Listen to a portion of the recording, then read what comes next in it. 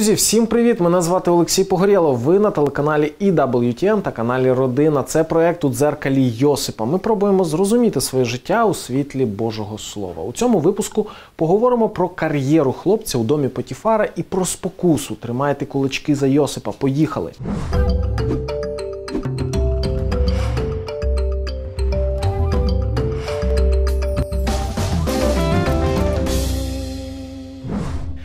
Давайте повернемося трохи назад і подивимося на Йосипа спочатку приляканого і нагого в ямі, куди його кинули брати.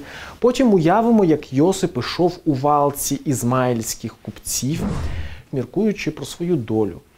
Що чекатиме його в Єгипті? Скора смерть від знущання і побоїв, доля хлопчика для розваг, адже він був гарним юнаком чи тяжка праця під пекучим єгипетським сонцем.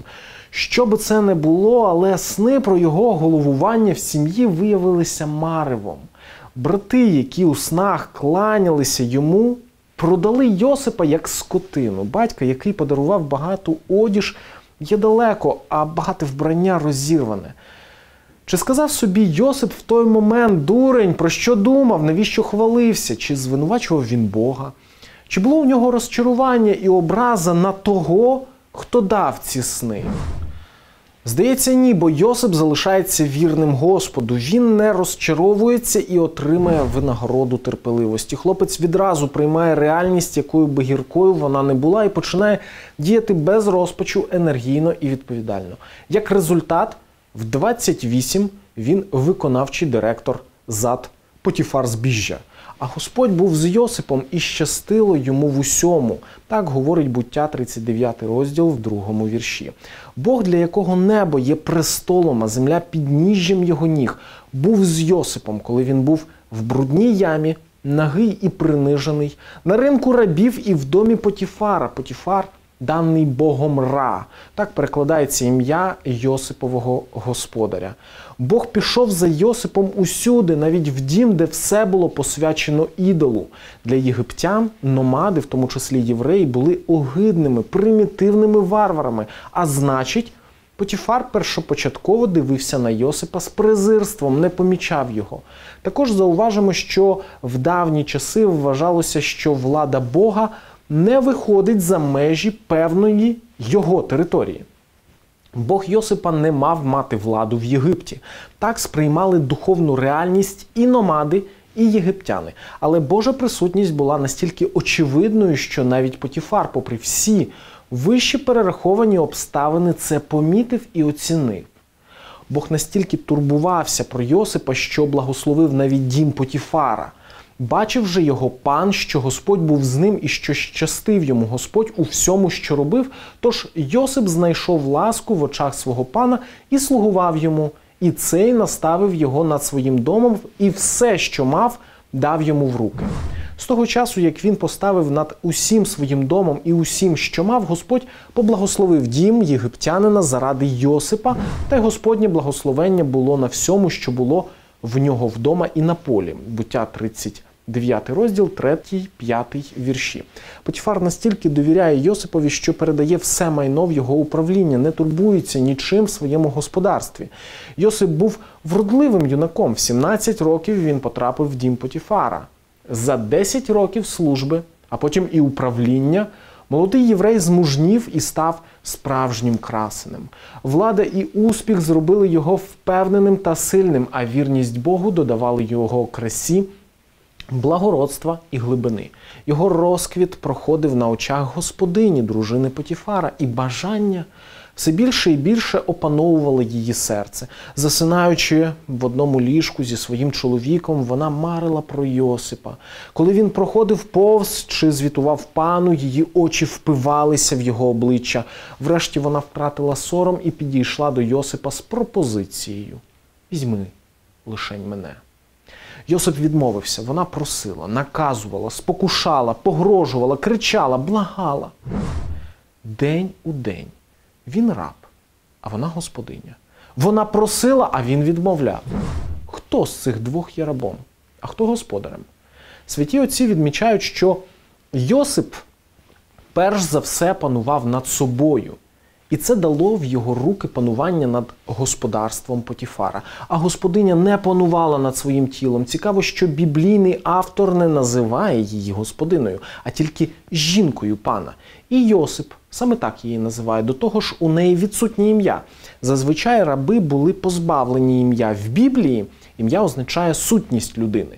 Понад усе батьки піклувалися, щоб їхнє ім'я залишалося в дітях. Виходить, гріх, який опановує людиною, вбиває її сутність дитини Божої, забирає гідність, знеособлює. Людина втрачає панування над своїм життям, і господиня перестає нею бути, а окреслюється лише за належністю до пана. В нашому житті є безліч таких ситуацій. Без хабаря цей іспит не скласти. Ти ж знаєш, якщо б я відмовився, то втратив роботу. Я мушу так робити, бо в нашій країні по-іншому не виходить. Всі так роблять, чим я гірший за інших. Наші виправдання цілком логічні і послідовні, але вони залишаються виправданнями. Вона день у день підмовляла Йосипа. Він її не слухав, щоб узяти її, щоб бути з нею. Буття 39 розділ, 10 вірш. Це символ спокуси від диявола. Він також день у день підмовляє тихеньким і ласкавим голосом. Він пропонує любов і насолоду, як і жінка господаря обіцяє ласку і винагороду, особливі можливості. Але багатьох з нас взагалі не треба підмовляти. Для більшості з нас диявол приходить як господар до песика, свиснув, і ми йдемо слідом без зайвих слів і вмовлянь. Але якщо спокуси щодня нападають на нас, а нам вистачає сил опиратися, будемо знати, що диявол буде і вмовляти, і лякати, і погрожувати, і обіцяти. Йосип просто не слухає. Як можна не слухати, точніше, не чути Змія? Відповідь проста: слухати, точніше, чути Боже Слово. Починає слухати Боже Слово, бажання і можливість слухати диявола ставатимуть меншими. Ось мій пан, маючи мене, не знає, як я знаю, що в домі, і усе, що він має, дав у мої руки. Він сам не більше від мене у цім домі і не застеріг собі нічого, крім тебе. Бо ж ти його жінка. Як же мені вчинити таке велике зло і згрішити перед Богом? Звернімо увагу на аргументи, які приводить Йосип, бажаючи і її, і себе спасти від гріха перелюбу. Перший. Він згадує про її чоловіка, акцентує увагу, що вона йому жінка, а значить, має бути вірною чоловікові, хоче привести її до тями. Друге.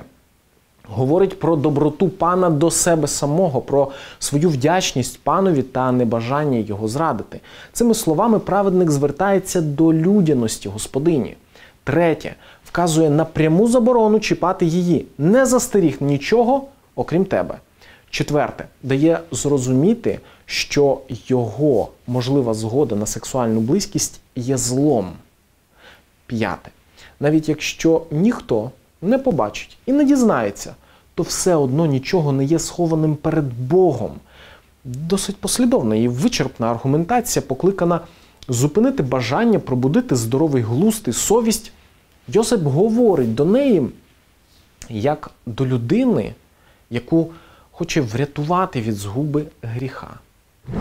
До такого висновку приходять отці церкви, описуючи цей епізод. Але коли він бачить, що аргументи не діють, розум, засліплений бажанням, він залишає її. В нашому бажанні спасти людину від гріха чи від е, згубної звички так само має бути міра здорового глузду і вільної волі самої людини. Часто хочемо врятувати поза бажанням людини, винуватимо себе, що не зробили, не перемінили, не спасли, забуваючи, що людина самостійно обирає собі життєвий шлях. Нормальною і здоровою реакцією є бажання допомогти. Але не треба поглинатися проблемою людини, якщо вона нічого не хоче змінювати. Найкращий шлях відмежуватися, що і робить Йосип, не слухаючи грішницю. На цьому прощаюся. Мене звати Олексій Погорєлов. Дивіться частіше в дзеркало Йосипа. Щасти!